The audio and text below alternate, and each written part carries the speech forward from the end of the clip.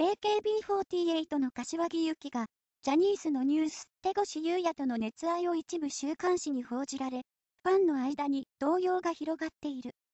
発売中の週刊文春は、柏木と手越の抱擁写真を掲載。場所は、箱根にある高級旅館で、スノーボードを楽しみに訪れたらしく、セミスイートに宿泊したと報じた。先日の総選挙で2位になった柏木。しかし、このスキャンダルに、ツイッターアカウントには、マジかよゆきりん、今日で押しやめます。がっかりすと嘆く声や、まあ恋愛は自由ですが、あんなたくさんの票をもらって、いきなり写真流出じゃ。ファンをバカにしてるよね。手越しとの交際バレちゃいましたね。